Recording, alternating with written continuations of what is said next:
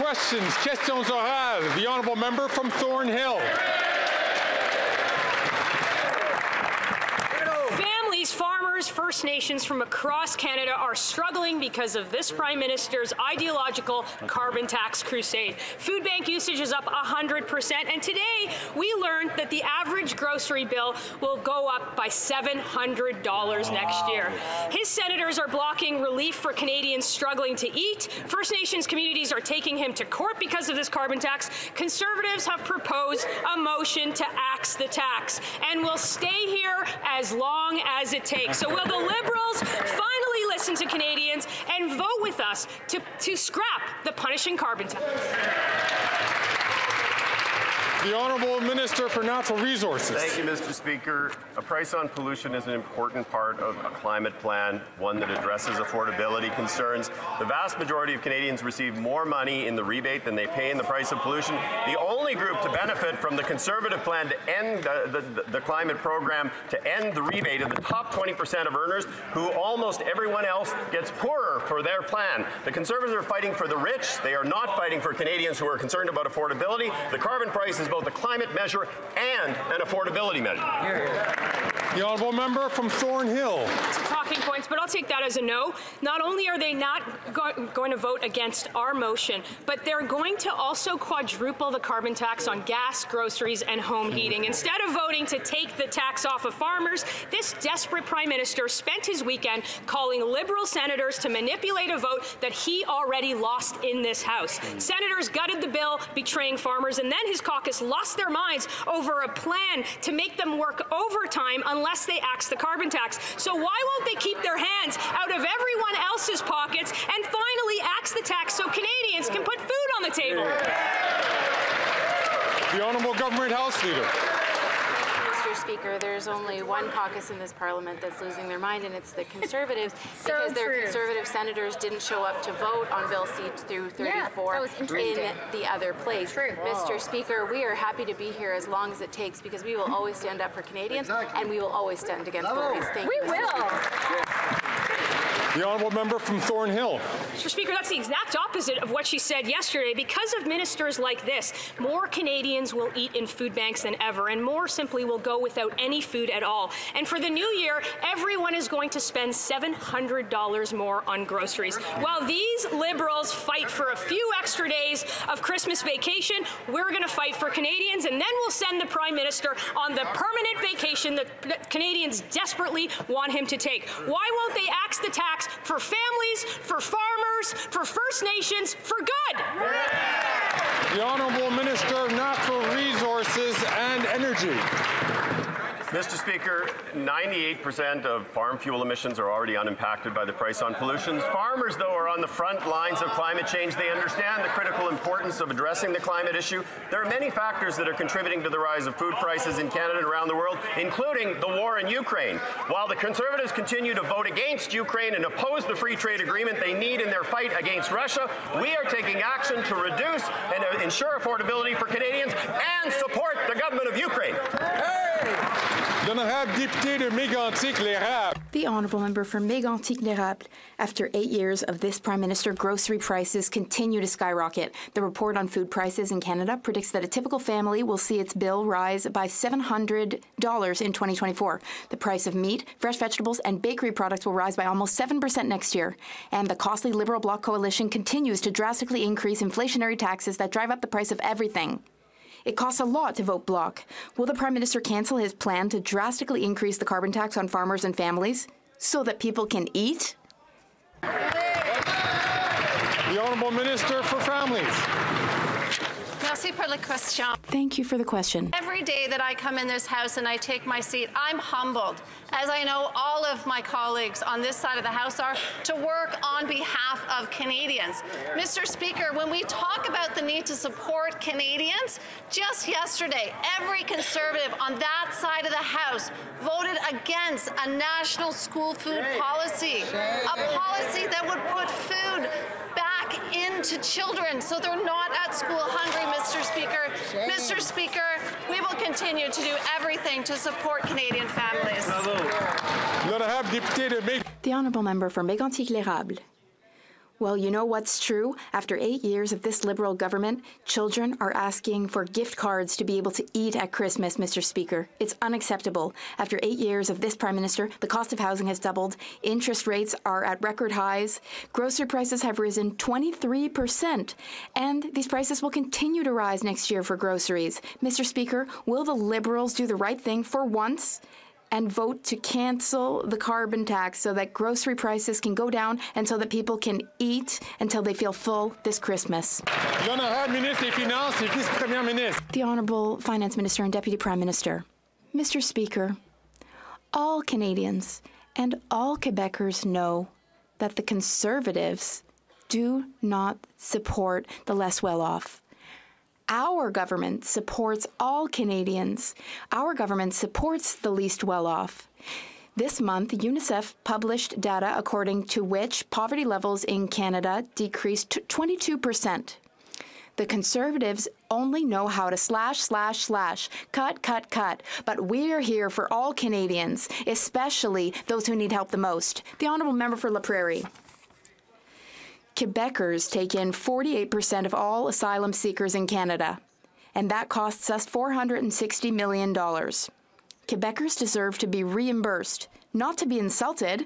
And yet, not only is the Minister of Immigration refusing to reimburse Quebec, but on Tuesday, he repeated in committee that he's thinking of imposing an additional bill on Quebec. Imagine that. We offer 100% of the services, we pay 100% of the bill, and he thinks that Quebecers owe him more money? I couldn't make this up if I tried. Mr. Speaker, the minister will meet with his Quebec counterpart tomorrow. Will he leave his arrogance at home and bring his checkbook instead? The Honourable Immigration, Refugees and Citizenship Minister. What's arrogant, Mr. Speaker, is to think that a relationship is a one way relationship.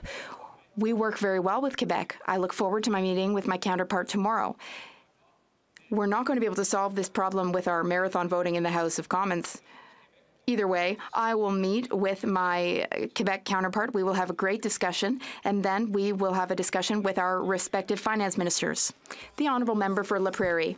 Sure, let's talk about collaboration then. What is the federal government doing for asylum seekers? Asylum seekers are under federal jurisdiction, but the federal government provides 0% of social services and pays 0% of the bill. And the icing on the cake is that Ottawa's delays in issuing work permits and in reviewing applications adds to the bill that Quebecers pay. So, in short, Quebecers pay for 100% of services, provide 100% of services, pay the whole bill, and they're paying too much thanks to the federal government, which is asleep at the switch. So we don't need to take any lessons. Tomorrow, will the minister reimburse Quebecers? The Honourable Immigration, Refugees and Citizenship Minister. Mr. Speaker, the Bloc Québécois feels that 700 million a year and a lot more in social and health transfers doesn't count for anything. The Honourable Member for Burnaby South. Seven million Canadians uh, are expected uh, are struggling now because they have to use food banks. The price of food is going to go up by $700 next year just to put food on the table. In committee this morning, Walmart CEO said he's not supporting a stronger competition bureau. Maybe that's why the leader of the opposition did everything he could to block the legislation. Galen Weston, as we all know, earns 431 times what his average employee makes he, and thinks his $12 million bonus was reasonable.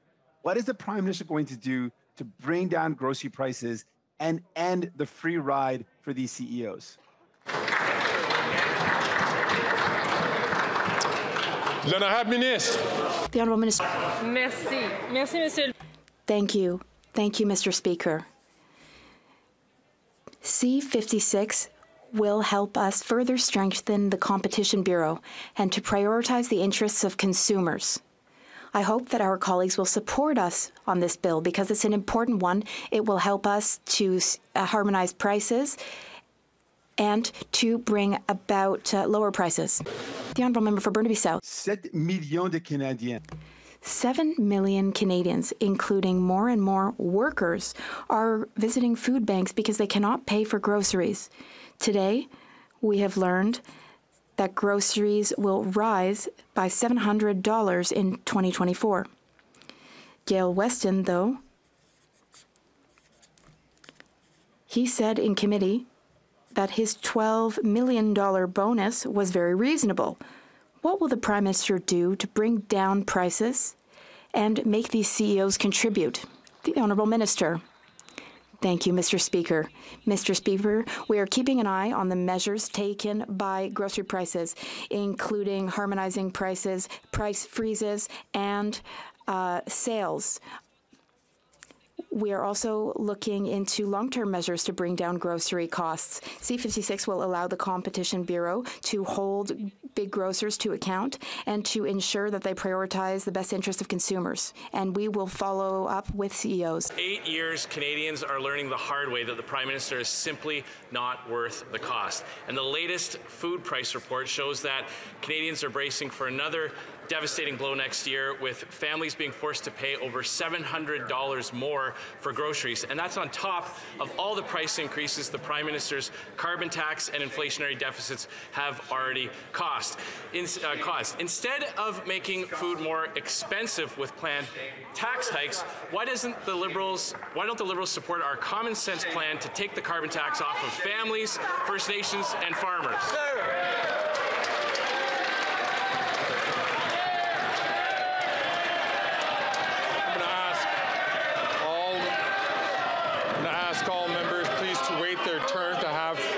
opportunity to speak. The Honourable Minister for Families, Children and Social Development.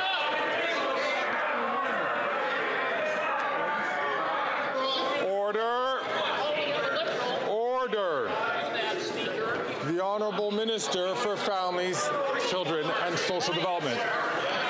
Mr. Speaker, well, the Conservatives continue to do all that they can to paralyze government. We are here to work on so, Mr. Speaker.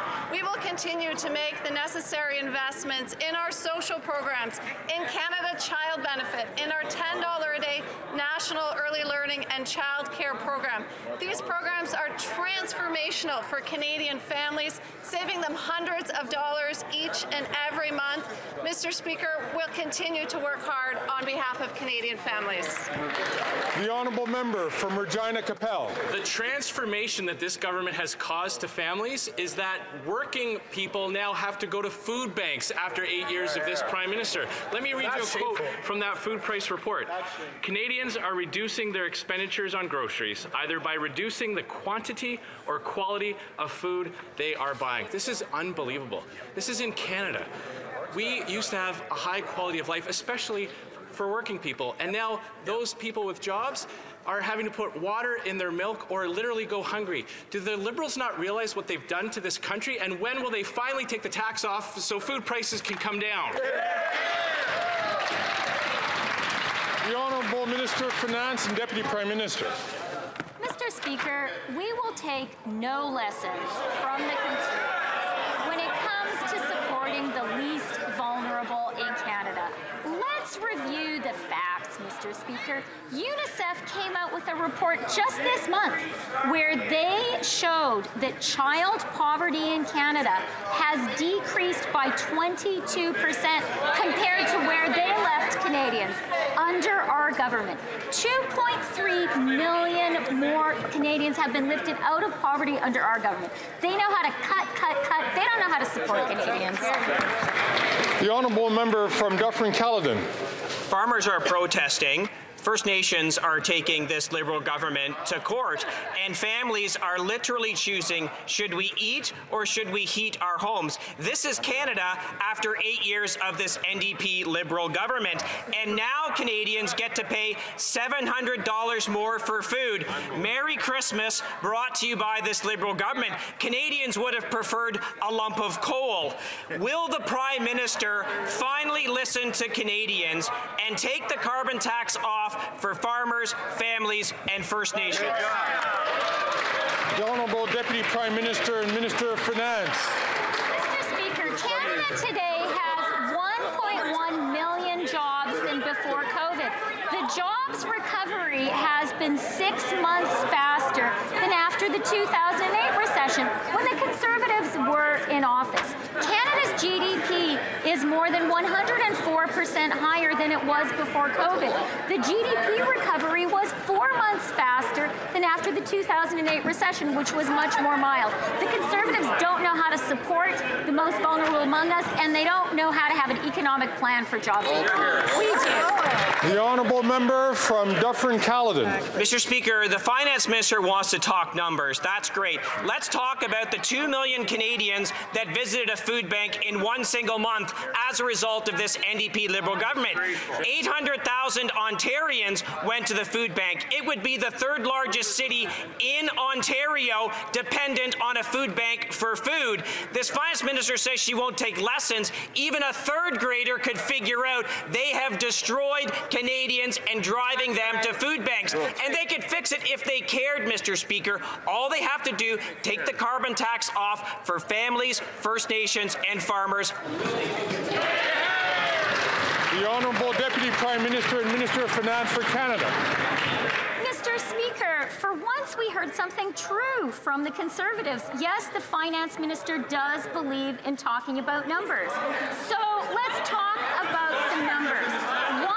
1.1 million more jobs in Canada than before COVID. Eight out of 10 Canadians have more money in their pockets thanks to the carbon price. And you know what? Last week I was in Edmonton, one of the largest investments in Canadian history, more than $11 billion from Dow. You know why? Because of our price on pollution. That's what the Dow CEO told us was underpinning of his investment. The honourable member from l'honorable député de Portneuf-Jacques-Cartier. The honourable member for Portneuf-Jacques-Cartier. Well, with Christmas around the corner, it seems that it would have been common sense to give a little help to Canadian families. Our motion today calls on the government to leave more money in the pockets of Canadian workers. With the help of the Bloc Québécois, the Liberals want to drastically tax even more with their carbon tax. Will the Prime Minister cancel his plan to increase the carbon tax on the backs of our farmers and our Canadian families? The Honourable Minister. Thank you, Mr. Speaker. Mr. Speaker, I'd expect more from the 20 from the 2023 Conservatives, but no, because in 2023 they have opposed workers' rights, they have opposed measures for housing, they're against climate change, they're reopening the abortion debate with C311, and they're even betraying Ukraine, Mr. Speaker.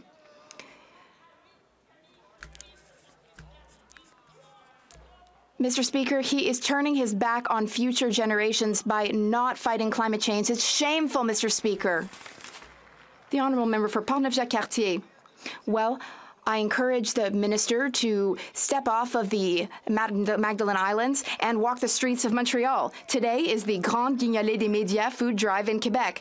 People who are on the streets asking for help because food banks are overflowing. Will this government finally understand? Order. Order, please. Order, please. The Honourable Member for Portneuf-Jacques-Cartier from the beginning, please. Mr. Speaker, I was suggesting that the minister leave Mag the Magdalen Islands and walk the streets of Montreal because today is the Grande Guignolée des Médias food drive in Quebec. People are on the streets asking for help because food banks are overflowing. Will this government finally understand people's desperation and listen to reason? A family of four will pay $700 more next year for groceries. So instead of wanting to tax even more with the help of the Bloc Québécois, can the government have a little heart and cancel the carbon tax, which isn't working? And that will finally help our farmers and families. The Honourable Fisheries and Oceans and Coast Guard Minister. Mr. Speaker, it's absolutely shameful to talk that way about people of the Magdalen Islands. That is absolutely shameful, Mr. Speaker. He should be ashamed to speak ill of those people from my region, Madam Speaker. Shame, he should be ashamed.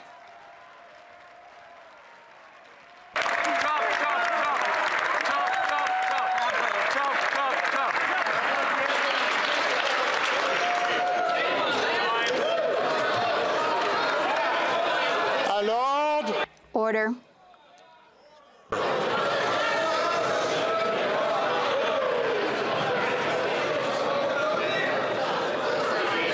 L'honorable député de Lac Saint. The honourable member for Lac Saint Jean. The member for Portneuf-Jacques-Cartier should take some vacation on the Magdalen Islands soon. Now, Mr. Speaker, there are human trafficking networks at Canada's borders, criminal networks run by Mexican cartels. These are bandits who exploit vulnerable people to smuggle them across borders, which have, by the way, become veritable sieves. Just imagine, we heard from Radio Canada that the RCMP will be cutting its border staff. So, on the one hand, the Minister of Public Safety is promising to increase the number of officers. On the other hand, the RCMP is potentially going to cut up to 25% of its staff. So, imagine you can't imagine a more ham fisted decision. L'honorable ministre. The Honourable Minister. Monsieur le Président, euh, nous. Mr. Speaker, we share the concerns of all Canadians when it comes to the integrity of our borders. My colleague says that we will reduce RCMP staff in Division C in Quebec. That's not true. We are fighting crime and securing our borders. Since the Roxham Road crossing was closed and since a third party agreement, the RCMP reassigned its resources to prioritize fighting organized crime and to ensure the integrity of our borders. The Honourable Member for Repentigny. We have been waiting for two years for the Liberals' plan to cap emissions from the fossil fuel sector, but the wait is not over yet. The government has just announced a regulatory framework without regulations. It's guaranteed also that it won't be adopted before 2025. Worse still, the emissions cap will not come into force until 2030. And not only does this plan not require any reduction in oil production, the plan explicitly offers flexibility to oil companies to increase their production. It's literally a license to pollute until it's too late. Who wrote this plan? The oil companies? L'honorable ministre. The Honourable Natural Resources Minister. Thank you, Mr. Speaker. The bloc often talks to us about respecting federal jurisdiction, provincial jurisdiction in the fight against climate change, and today we have done both. The Environment Minister, Benoit Charette, in Quebec, said today, I commend the announcement to set up a cap and trade system for the oil um, sector today. He, he said this is a good day for the environment and the economy. L'honorable député de Repentigny. The honourable member for Repentigny. According to the International Energy Agency, emissions from the fossil fuel sector need to be cut by 60% by 2030 if we are to meet the targets of the Paris Agreement. Today's Liberals are content to call for a 16% reduction over 2005 levels, which is barely a 25% reduction. And that's at the goodwill, of course, of the oil companies because no cap will be imposed on them before 2030. The federal government's plan is to beg the oil companies to make barely one quarter of the necessary efforts. Otherwise, otherwise what?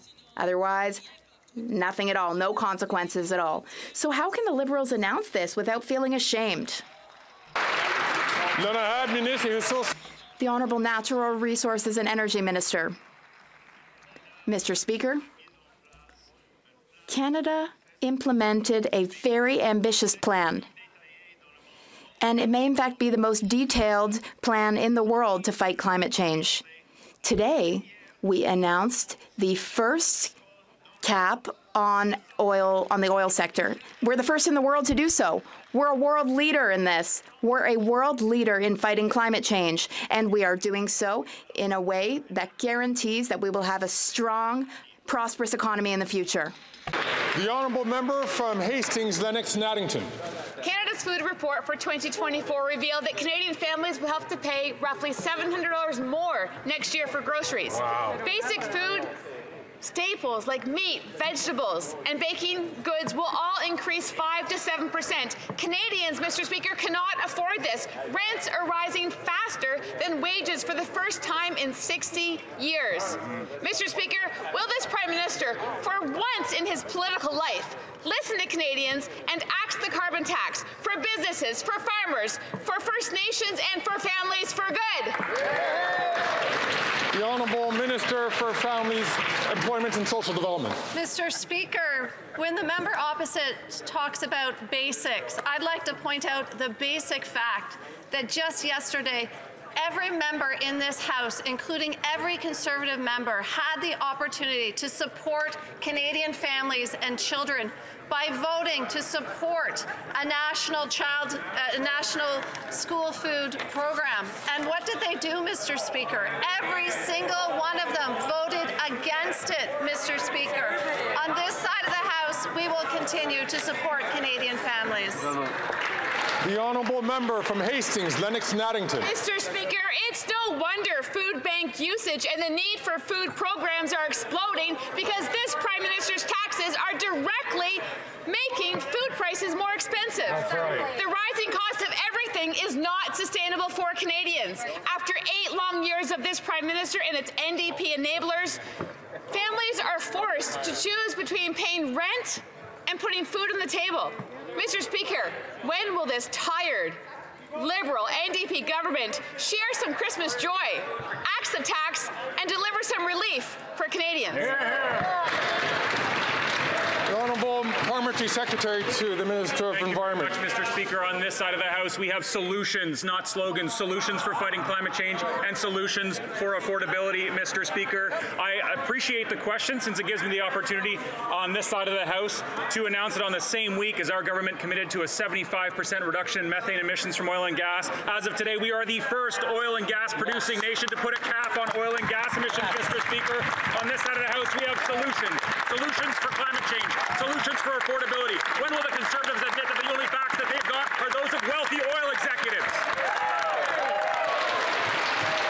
The honourable member, the honourable member from Dauphin Swan River. After eight years, Canadians can't afford to eat because of this Prime Minister's carbon tax. A new report shows that a family of four pays $700 more next year on groceries. The Prime Minister had a chance to lower grocery bills by removing the carbon tax on farmers. But once again, he proved he is not worth the cost. The Prime Minister spent the weekend working to gut Bill C-234 to keep the carbon tax on. Will the Prime Minister finally listen to Canadians and take the carbon tax off of farmers, First Nations, and families? The Honourable Deputy Prime Minister and Minister of Finance. Mr. Speaker, a UNICEF report released this month shows the truth that child poverty in Canada is down 22% under our government. But you know who is driving up prices? Vladimir Putin. He's driving up the price of fuel and of food. And you know what? The member opposite has the privilege of representing a rural Manitoba constituency. It was Ukrainian Canadians who settled Canada's prairies, and we owe it to the people of Ukraine to support them today and not betray Ukraine as the Conservatives have done. Shame. The honourable member from Victoria. Mr. Speaker, the Liberals are patting themselves on the back for their botched emissions cap. After two years of delays, they've announced a watered down oil and gas cap that won't even cut emissions enough to meet the Liberals' own target, only the Conservatives' old target. The same Conservatives who don't even believe this is a crisis. The Liberals are throwing young people's futures under the bus to make life easier for oil and gas companies. Will the minister get serious and fix the emissions cap?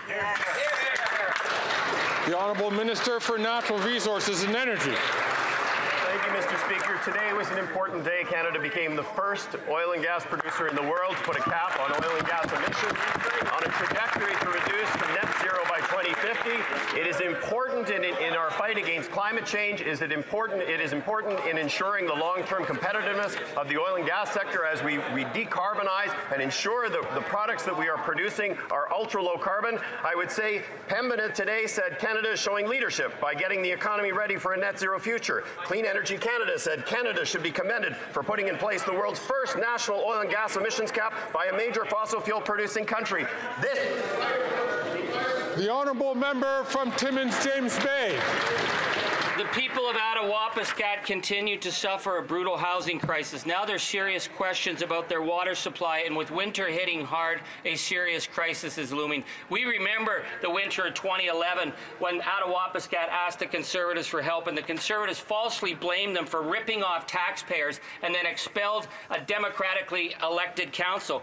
But under the Liberals, there's just been vague promises and no action.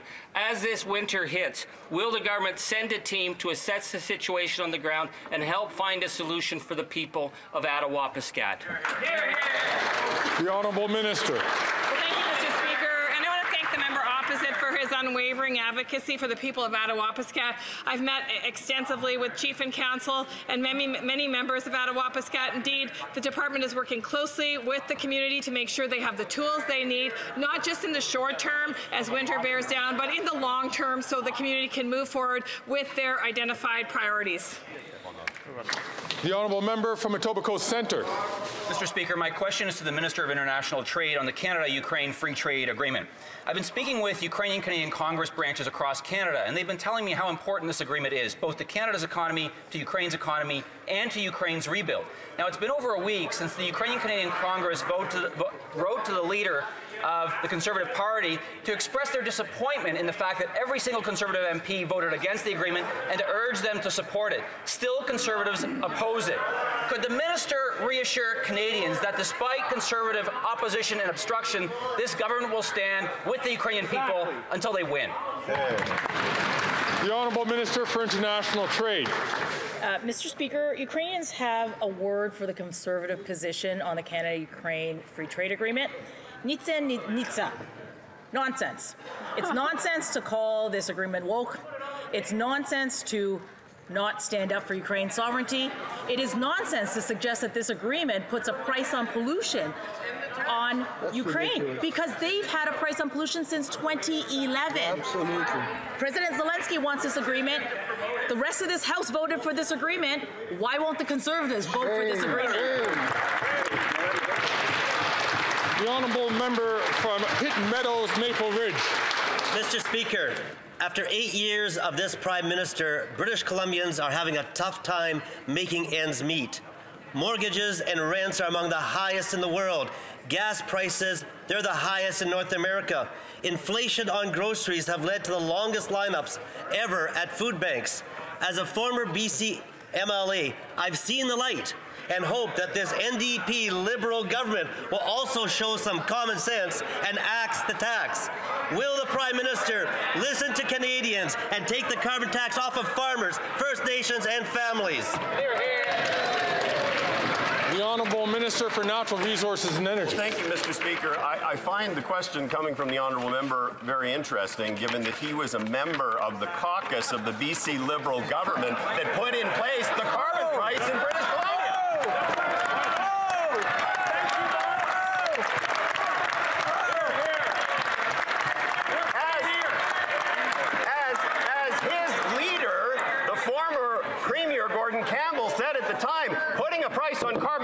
is a way to reduce emissions, incent innovation, and drive an economy going forward. And he voted for that.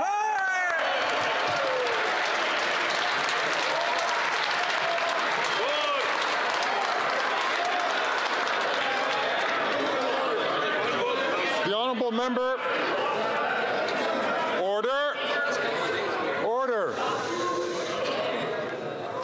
honourable member from Prince George Peace River, Northern Rockies. Sadly, empty words from these Liberals won't fill empty stomachs in Nunavut. Kyra Killebuk, an Inuit woman, shares photos of current food prices in Nunavut on her social media. A can of Campbell's potato soup is $11. Wow. A, a medium box of Cheerios is $17. A small package of ham is $18. Wow. After eight years, of Nunavut knows that this Prime Minister is not worth the cost. Right. When will this Prime Minister scrap the carbon tax, finally listen to Canadians and scrap the carbon tax on farmers, First Nations, and families? The Honourable Minister for Nat The Honourable Minister for Natural Resources and Energy. Thank you, Mr. Speaker. As my honourable colleague knows, 8 out of 10 Canadian families actually get more money back. If he would take the time to actually read the study that was published by the University of Calgary recently, the people who are most vulnerable get far more money back than they actually pay. Instead of presenting a plan for the economy or for the environment, the Leader of the Opposition spends his time about musing about pulling us out of the Paris Agreement, joining Nicaragua and Syria. This will do nothing to address the economic future of Canada, nothing for the future of our children in fighting climate change. This climate denying Conservative Party is not worth the risk.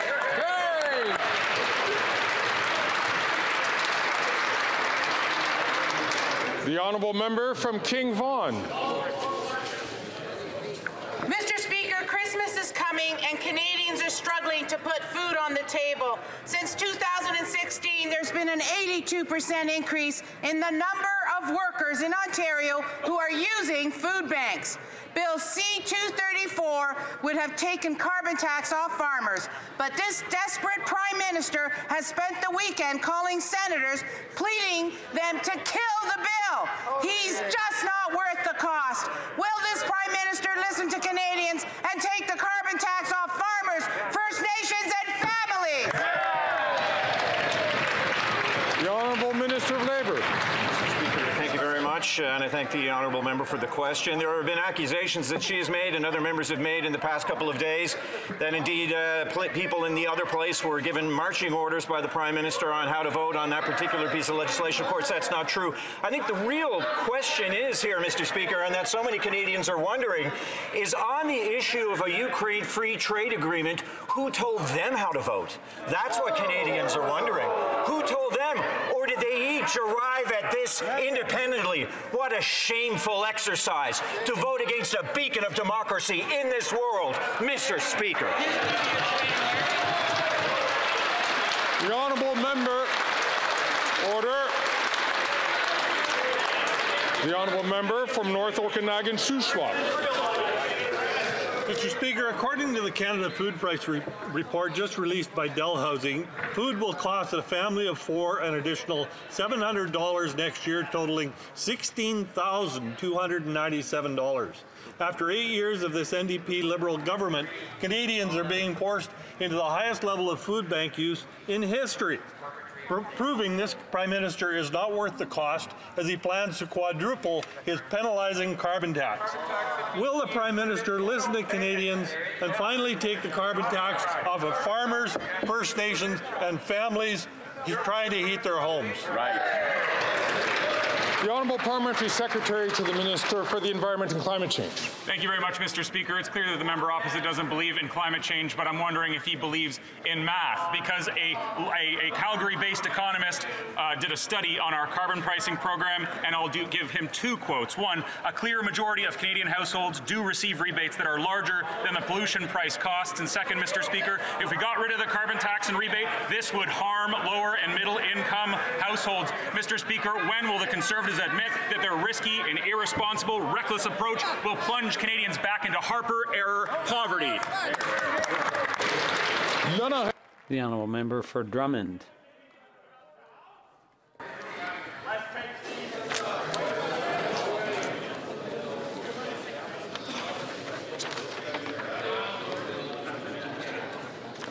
I'm gonna ask all members to keep it down. and I'm going to ask the member from from Kamloops Thompson Cariboo to please uh, wait his turn to ask a question. The honourable member for Drummond. The announcement by the CEO of the CBC, Catherine Tait, that 600 employees will be laid off is a disaster. It's a disaster for the news, especially regional news, for Quebecers' culture, for democracy, and of course for the people who work there. And Catherine Tait's water torture technique with waves of layoffs spread out over months with everyone's head on the chopping block is quite simply disgusting.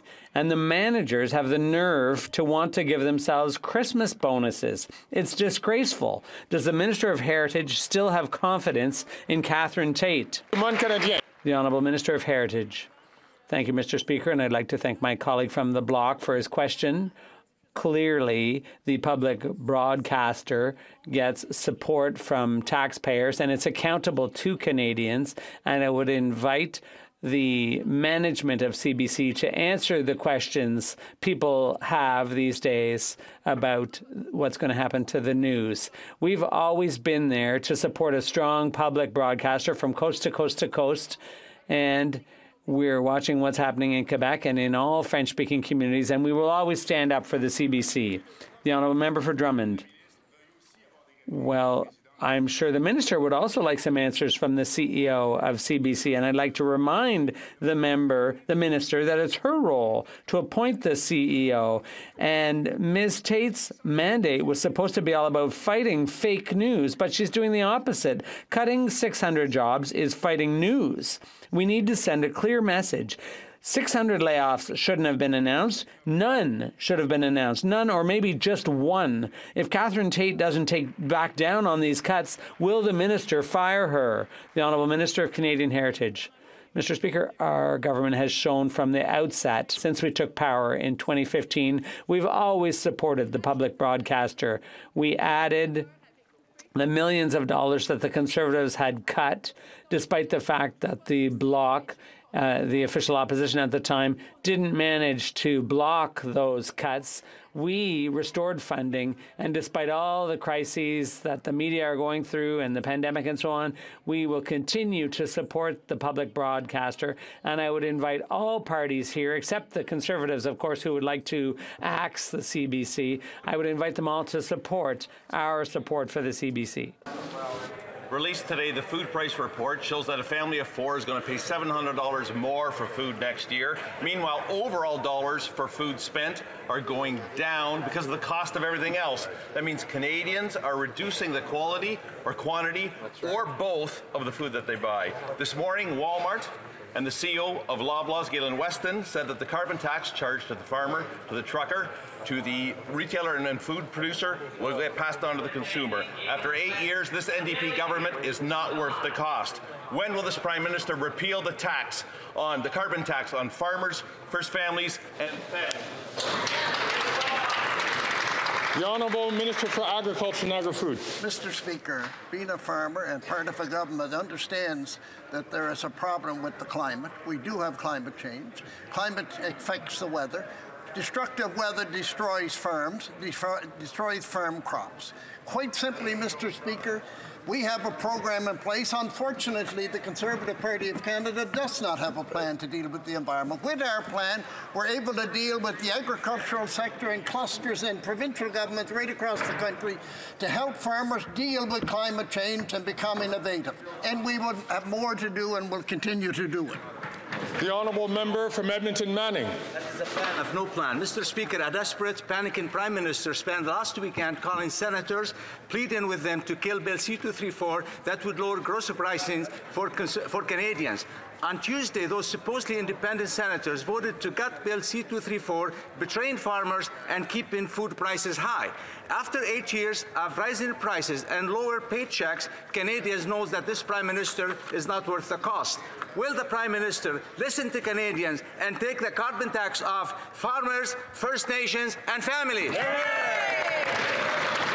The Honourable Parliamentary Secretary to the Minister of the Environment and Climate Change. Thank you very much, Mr. Speaker. It's clear that that member doesn't agree with climate action, but I wonder if his children would agree with climate action. It's something that's going to impact next generations more than it affects us. But when the Conservatives show Canadians who they're advocating for, they take notice. So, Mr. Speaker, I'd pose the question back to the Leader of the oppos Opposition. As a family of four, the Leader of the Conservatives would have received $976 in climate action incentive payments payments. Now, he lives in a taxpayer-funded mansion and gets driven around, so doesn't buy very much gas himself. Did he cash the check? The honourable member from Fort Saskatchewan, Sherwood Park, Fort Saskatchewan. Last night, under the cover of darkness, the NDP Liberal government rammed through their anti-energy, unjust transition, job-killing agenda at the Natural Resources Committee. They broke every rule of parliamentary procedure. They broke the rules and denied MPs the chance to be heard as they rammed through their anti-energy right. agenda. On the agenda of the committee and for the chair of the Natural Resources Committee, when will the committee consider this matter again, and how does the chair justify another gross betrayal of Canadian workers.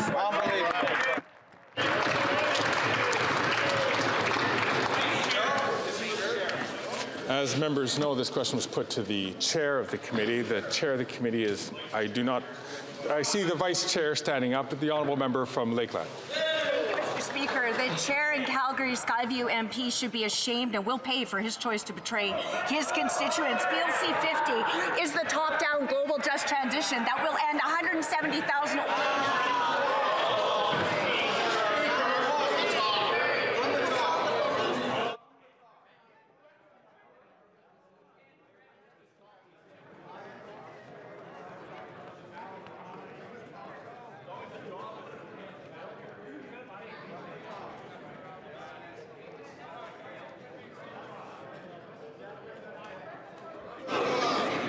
I'd like to uh, invite the honourable member from Lakelands. I'm certain um, to make sure that there was no misinterpretation of, of, her answer. To start her answer again from the top, please, but I'd ask her to be careful in the language that she uses. The honourable member from Lakeland. The constituents of Calgary Skyview will hold the MP to account for his betrayal of their constituents, and he'll pay at the ballot box. Bill C-50 is the top-down just transition that will end oil and gas in Canada in favour of dictator and U.S. oil. The NDP Liberals know it will kill 170,000 oil and gas jobs immediately and hurt 2.7 million Canadians working in transportation transportation, construction, agriculture, manufacturing on top of it. It will make power, power and fuel prices skyrocket.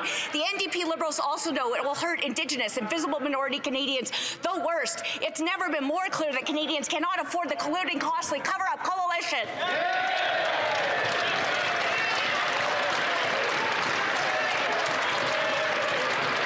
Order. The honourable member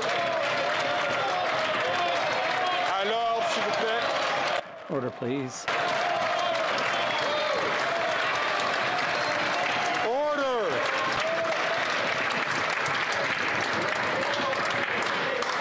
The Honourable The Honourable Member for Alfred Pellan.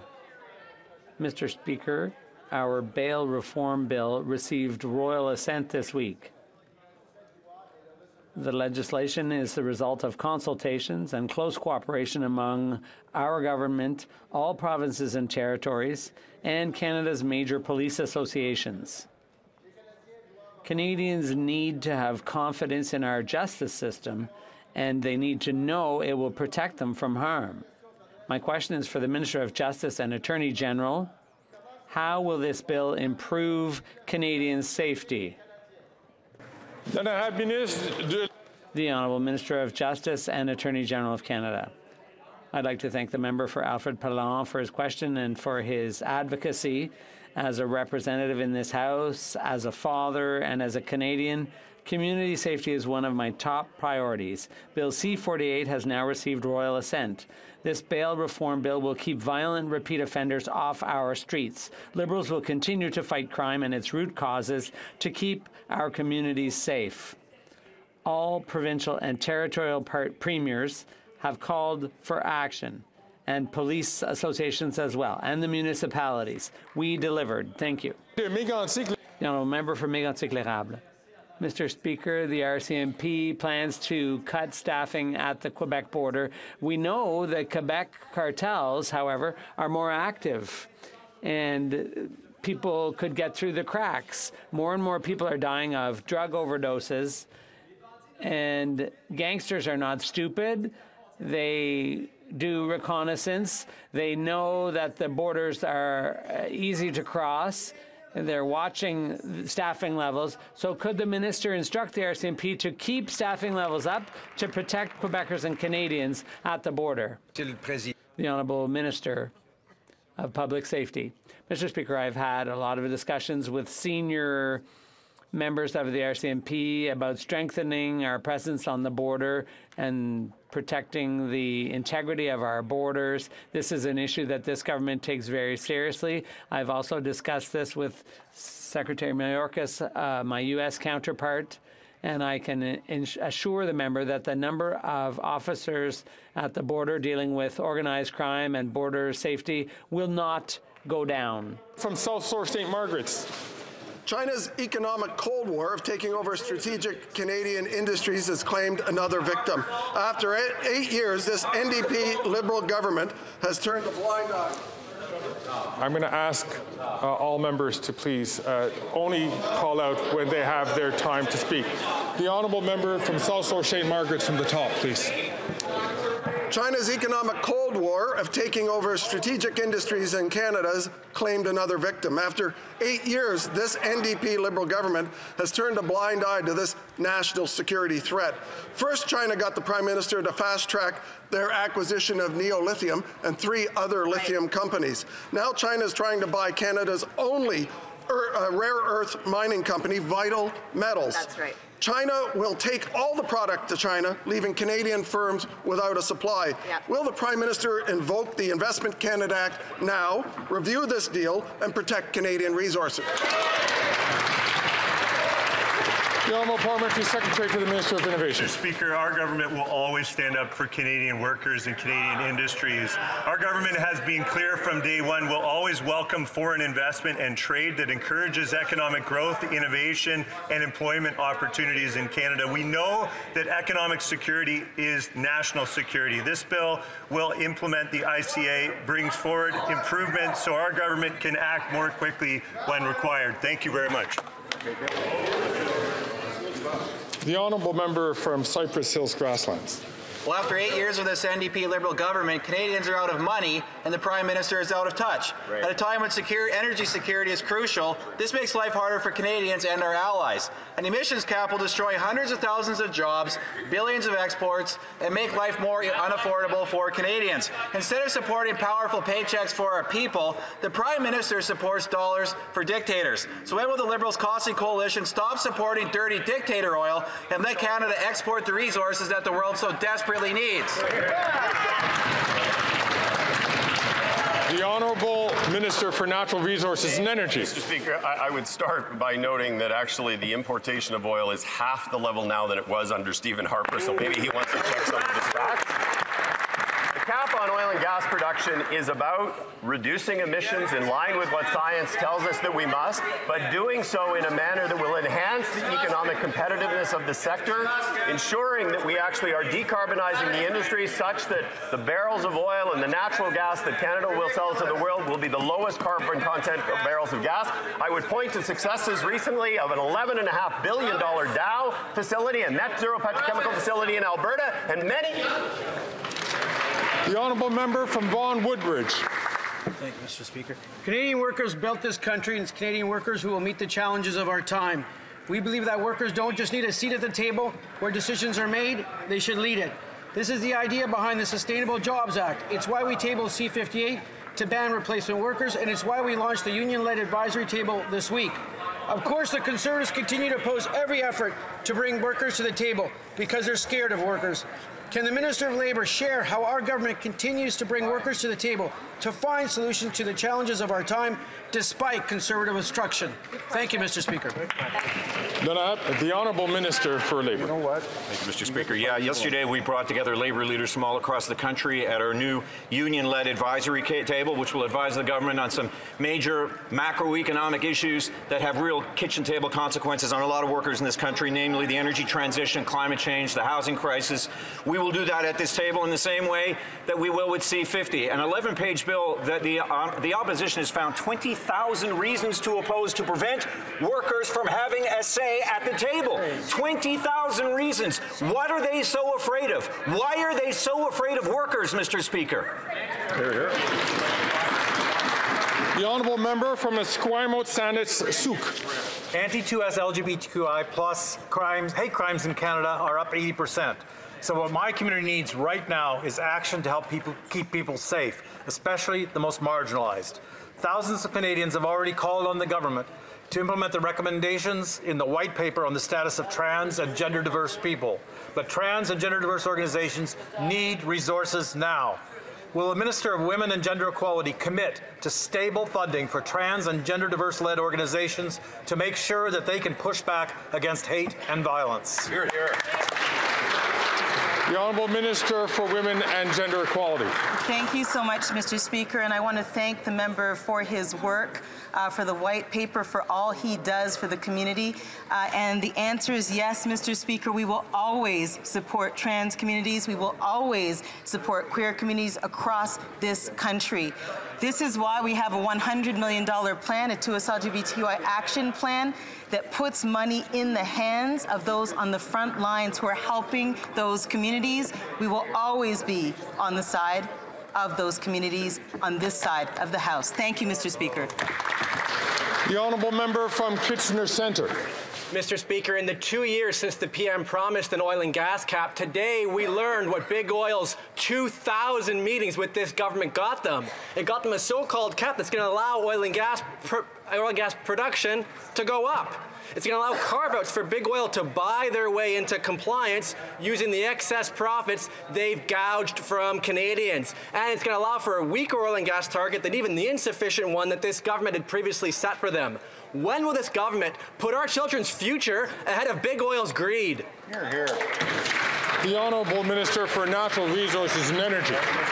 Today was an important day for the environment and the economy. Canada became the first country to put a cap on uh, oil and gas emissions with a trajectory to reduce net zero by 20, uh, 2050. But I would also say we released the emissions reduction progress report today. What that showed is we are well beyond the initial target we had when we were elected, which is 30% reduction. We will achieve the 2026, more than achieve the 2026 interim milestone, and we are on track to achieve our 40% reduction by 2030. Although this brings to the end of question period, I'd like to wish to draw the attention of members to the presence in the gallery of the Honourable Jeremy Harper, Speaker of the Yukon Legislative Assembly.